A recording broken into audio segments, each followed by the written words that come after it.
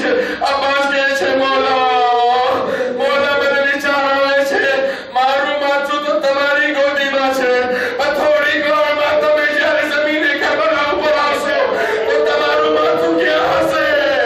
અબ્બાસ કહે છે આ ગુલામની ઓકાત છે એની માની વસીયતને યાદ હતી કે ક્યારે મોલાને તું આકા નહીં કહેતો તું ભાઈ નહીં કહેતો દરરોજ મોલા કરીને બોલાવજે અબ્બાસ ને કહે છે અબ્બાસ તને